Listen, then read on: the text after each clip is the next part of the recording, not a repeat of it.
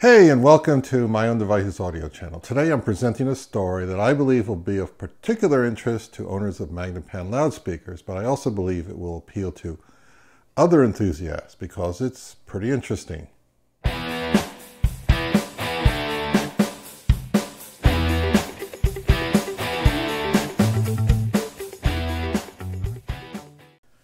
Amazingly, there are lots of Magnepans from the 70s, 80s, 90s, and 2000s still in use around the world.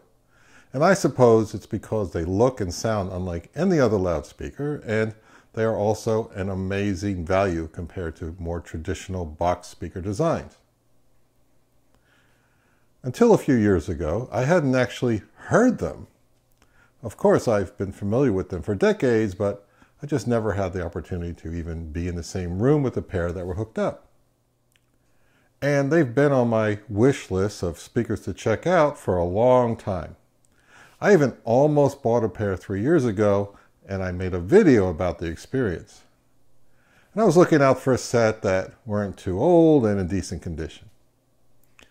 In 2021, I spotted some 1.6 QR models locally, and they fit my criteria. They're from the early 2000s, and they were well cared for and affordable.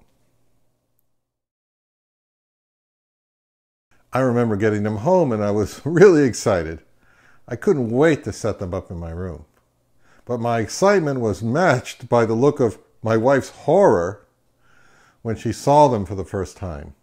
Those tall black monstrosities were the opposite of what she considered acceptable for home use. Thankfully, I have a dedicated listening room where I can do pretty much as I wish. I had read everywhere that Maggies require lots of power and current to perform at their best, so I initially powered them using an NAD and then an Acoustat amp. But then I found a Bryston 4BST. And my listening room is not large, not huge, it's a home office and it did take a little bit of effort to get the room properly set up. But with the Bryston and a Ayre Acoustics preamp, the Maggies were a revelation. The scale, the soundstage, the detail was incredible to my ears, and to me, no other speaker I'd ever owned had sounded as engaging as the Magneplanars. And I was a pretty happy camper until one day I was streaming a track by Erykah Badu with some really deep synthesized bass, much deeper than you usually get from a vinyl record. And then I heard it, a buzzing, a terrible rattle coming from my wonderful speakers. Oh no, it was the dreaded delamination that I'd heard about. That's when the wire coils on the front of the mylar diaphragm start to become detached.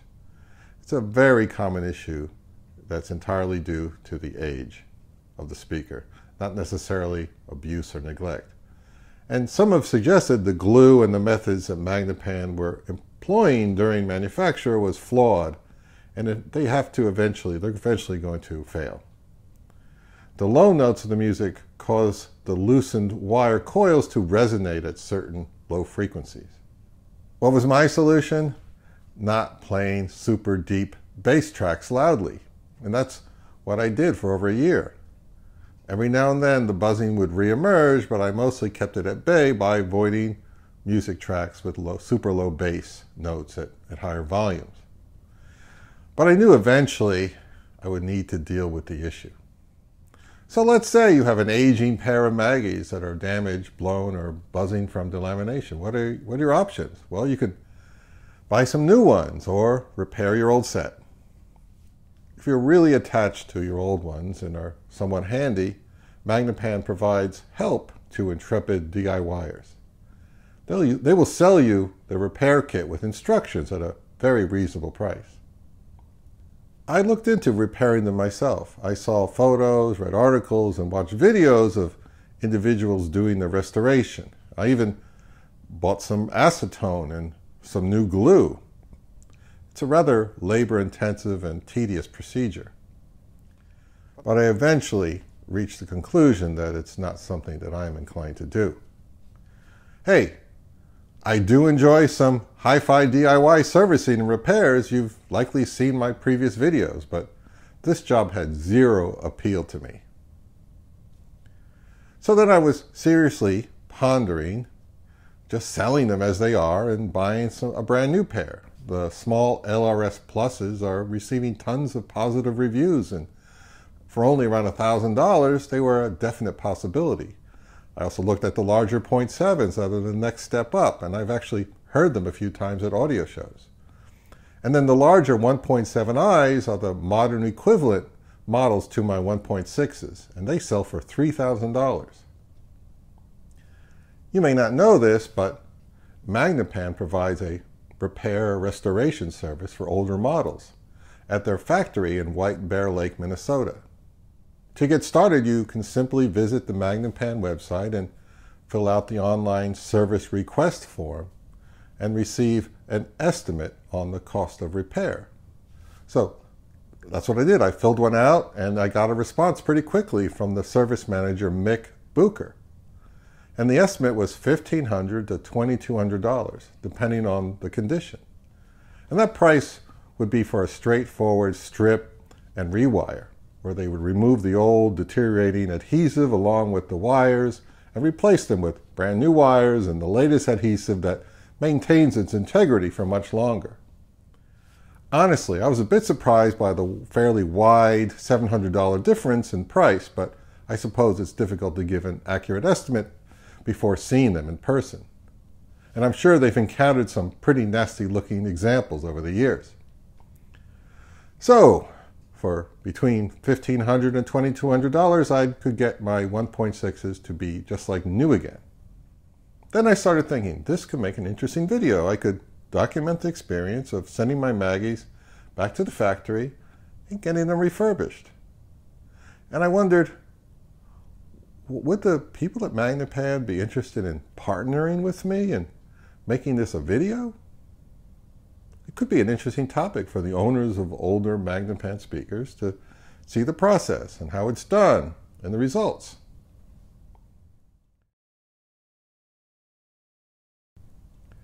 I replied to Mick and proposed the idea of working together on a video, and with some accommodation on the cost.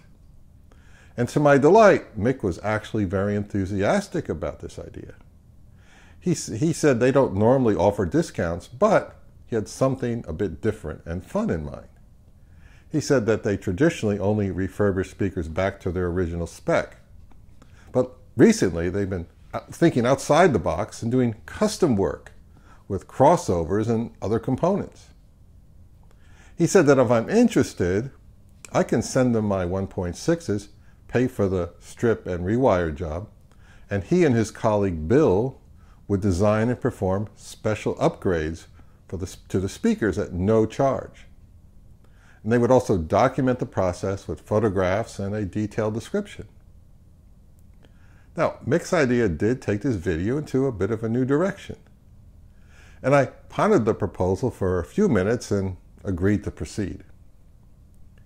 Firstly, I needed a box to ship them safely from Florida to Minnesota. Magnepan can provide a box, packing materials and instructions for $60 including shipping. And it arrived a week later inside a big plastic bag and I recommend following the instructions carefully and using plenty of strong tape. The box is very long and weighed 80 pounds, and UPS charged me $180 to ship it back to the factory in Minnesota. Later that week, I got a note, notice that it arrived at its destination. Mick had previously informed me that it would take something like four to six weeks to finish the job. But then, to my surprise, a couple of weeks later, he called to inform me that they were ready. While Mick was at Axpona in Chicago, Bill, the service guy, got on with it and completed the job. They shipped the speakers back to me via UPS with a new box and packing materials. And I was delighted to find them propped up against the wall on my front porch when I got home from work. And I was like a little kid. I had to get them unboxed and hooked up as quickly as possible. And inside the box was a nicely written letter from Mick with a detailed account of what they did with my 1.6s. Also included was a USB thumb drive with photos that I will be sharing with you here. He started out by saying that they had a blast working on them and they were thrilled with how they turned out.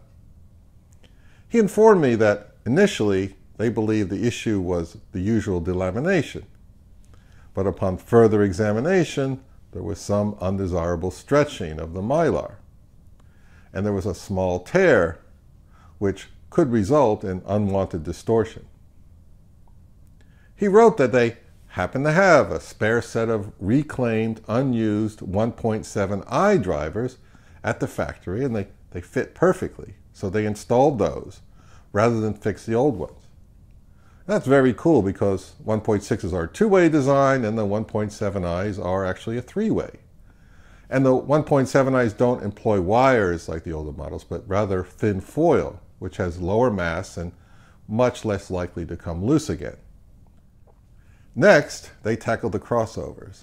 The original iron core inductors were replaced with air core units to get a smoother overall frequency response. An equivalent value air core inductor would be physically much larger than the iron core that they removed and would not fit in the crossover space. So Bill custom wound two small coils that equaled the value of a single one, which did fit. They also replaced the old capacitors with new copper-rich polycaps. Mick said that he made a similar mod to his personal point sevens and is incredibly happy with the results. Up next were the speaker terminal connectors. The old nickel ones were removed and replaced with gold-plated connectors for improved electrical conduction and a nicer appearance. Then the braided wires were replaced with solid core copper. Lastly, I had already chosen gray fabric rather than black covers that they had previously. They also added nice dark cherry wood trim or stiles on the sides. So there's not much left of the original 1.6s now, just the MDF frame and, a, and the feet. Everything else is now new and upgraded. They're hot rodded and pimped out, as people like to say. And unlike current 1.7i's, they can be bi-wired or bi-amped. Now you're asking, how do they sound? Well, I'd listened to them for many hours using the 400 watt per channel Bryston and a 500 watt per channel Orchard Audio Starkrimson Ultra 2.0 Class D amp, and I'm really impressed. My initial impressions were, wow, there's a lot more bass now. No, not the 20 hertz type, but, but I can hear and feel much more bass than I previously could. I always thought the 1.6s were a little bass shy overall, and I partnered them with a subwoofer. I listened to my new updated ones for, for a few days without a subwoofer, and I believe I could live with them just fine. The bass was more than adequate for my taste. And I just purchased a new REL sub from House of Stereo. I noticed that the sound was also less laid back than before, more direct and upfront. The instruments and voices were more finely detailed and, and pronounced and clear. First impressions were overall very positive. To my ears, there was an improvement all around, and the buzzing was gone, of course. So one of the first tracks I put on was the Erykah Badu track, and it was great. However, after a while, I thought I could detect a little congestion in the midband, and I thought perhaps they needed a bit more break-in time which they probably did. Then I decided to go kind of crazy, and I disconnected the Bryston amp and connected my Cary Audio tube amplifier that's rated at a blistering 35 to 40 watts per channel in ultralinear mode, and about half that power in triode mode. And I was a little nervous at first. Would the Maggies cause the four KT88 tubes to melt down or explode? Nope, they survived, but I was a bit nervous, so I didn't turn it up very loud. I switched back to the Bryston for a day or so, and then I was thinking, and I decided to remove the KT88 tubes from the Cary amp and replace them with EL34s. With the Cary amp reconnected and warmed up, I started to turn up the volume louder and louder. There were no explosions or smoke or horrible distortion. It was glorious. Maggies love tubes, or these Maggies love EL34 tubes. Gone was any hint of mid-range issues at all. It was I was in sonic heaven. I stayed up till 2 a.m. listening to record after record, track after track, and then I switched to the lower power mode, triode mode, and they were even better. How can that be? And there's plenty of volume in my modestly sized room, getting up to 90 plus decibels, and I can't detect clipping or distortion at all. It, I even asked my friend Ross to come over and take have a listen, and he concurred that it's pretty impressive setup. Now, speakers are a passive window into your system. From my experience, Magnepans are a cleaner window into hearing what's going up, going on further up your chain of components. I must say that these are the finest sounding loudspeakers that I've ever owned. And my system, as it's currently configured, is the best it has ever sounded. As the weeks have passed since they arrived, I've become even more enamored with their performance.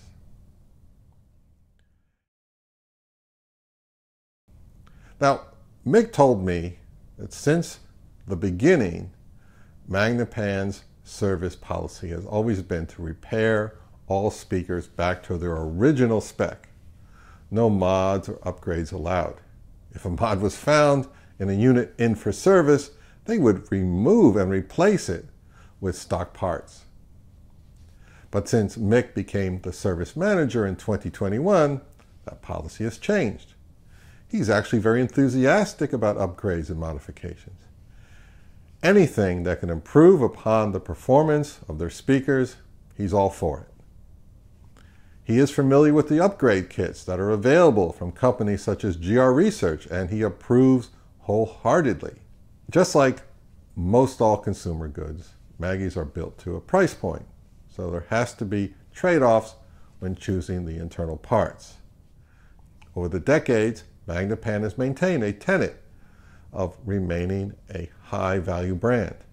Now they could build them with exotic composite materials, carbon fiber, machined aluminum, and fancy capacitors, but then the prices would shoot way up and they would lose their tremendous value proposition. Mick told me that if a customer sends in their speakers with their own upgrade kit, they'll be happy to install it for you, as long as the values of the parts are correct. He said they're very open-minded about unique mods and that the customers may be looking for. If you own an older pair of Magnepan speakers that you're fond of, but have issues, or if you have a fairly current model, or even if you just bought a brand new set and are interested in component upgrades, the service department can hook you up. If you're not sure what you want, they will make appropriate suggestions. This is not your dad's Magnepan anymore. I mean, what other well-established speaker or audio gear brand is doing anything similar to this? So when you fill out the online form, make sure to tick the box that says, I am potentially interested in upgrades and improvements for these speakers. That should get the process started. Now, I did receive a nice discount for some of the labor and upgrade components, but the total still cost me around $2,000 and about a quarter of that going towards UPS shipping fees. Ouch! The further you live from Minnesota, the more the shipping will cost. My dilemma now is, what do I call them? They still have the 1.6 QR nameplates, but are no longer 1.6s at all. They aren't stock 1.7i's either. They're actually a bit better, a cool hybrid. I asked Mick, and he suggested MG 1.6X. Okay, so that's what I'll call them the 1.6x or 1.6 x's.